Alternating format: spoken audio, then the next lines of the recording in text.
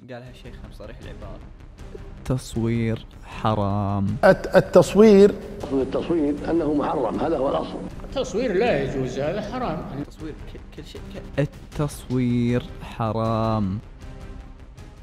أهلا وسهلا يا أصدقائي. وش أخباركم؟ زينين إن شاء الله. سنة 2015 2014 تقريبا أيام محمد كان مطوع ولا يزال أتوقع. شيخنا بالحلقة فتح موضوع كان صادم بالنسبة لي يا الله. قالها شيخنا بصريح العبارة التصوير حرام. الت- التصوير التصوير أنه محرم هذا هو الأصل. التصوير لا يجوز هذا حرام. التصوير كل شيء التصوير حرام. على اي أساس يا شيخ؟ شيء لازم أقوله بالبداية عشان الناس ما تضيع. أنا ما عندي مشكلة مع المطاوعه ولا عندي مشكلة مع الفتوى هذه ابدا صراحة. لكن أنا جاي أقول قصتي لا حد يكفرنا لأن التكفير هالايام صاير ببيزة. أنا من غير شيء الناس جالس يكفروني ما أدري ليش.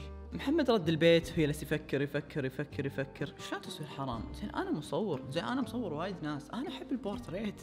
شغفي التصوير والبورتريت بس تعرف إن في مدى حبك لرب العالمين أقوى من أي شيء في هالحياة يعني. الله يرزقنا الإرادة والعزيمة اللي كانت عندي والله. ويا محمد يمسك كاميرته لابتوبه ويمسح كل الصور اللي مصورها. واللي عنده إياه عن طفولته ذكرياته صور إخوانه صور خواته صور أمه وأبوه. الحمد لله وقتها إن أنا مو مصور العائلة الرسمي ولا كان مسحت نص القبيلة.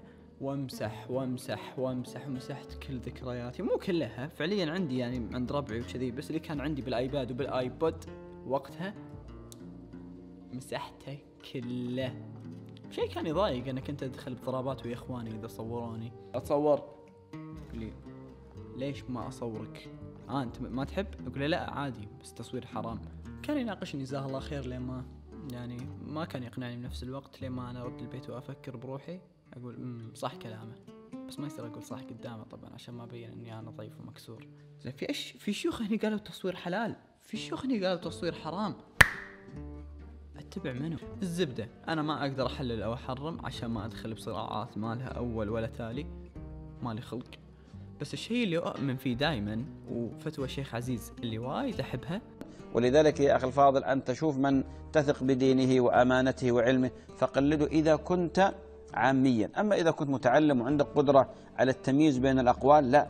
انظر في القول الذي معه الدليل. شنو أول شيء تسويه إذا صار في تضارب بالأقوال؟ يا أخي ما بقول أن الدين يتغير بس الفتاوى طلعت حتى تتغير. شنو نستنتج هني؟ أن محمد كان متعصب وايد. سو so, التعصب شيء مو وايد زين. لازم ننبذ التعصب وإذا اتبعناه عمياني كذي دشينا بالطوف. الله وكيلك. لا تتعصبون لشيء. ممكن باكر تغيرون آرائكم وتصيرون أنتم تصيرون نفسي. يوم من الأيام أنا جالس أقول إن التصوير حرام. اليوم أنا أسترزق من التصوير وهذه مهنتي يعني. أحبكم وايد. لا حد يكفر. كان في سؤال يطري في بالي بعد. اللي كانوا يقولون إنه حرام كانوا يقولون إنه مباح للضرورة. لا يجوز التصوير إلا للضرورة للضرورة. هل التصوير ضرورة؟ بالنسبة لي؟ نعم ضرورة. الولد اللي كان طايح بالشاطئ ما حد كان يدري شنو سالفته لولا ان في مصورة إعلامية صورته ونشرت صورته. الأشخاص اللي ببلاد ثانية اللي يعانون من الفقر والأمراض وهذه الأشياء ما كنا راح نعرف عنهم ولا شيء.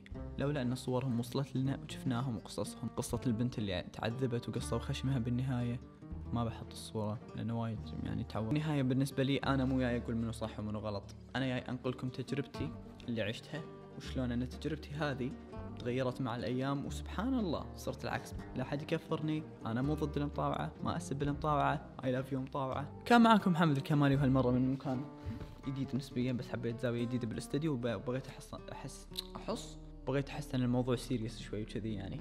هذا هو عادي إيش دعوة؟ أشوفكم على خير. مع السلامة.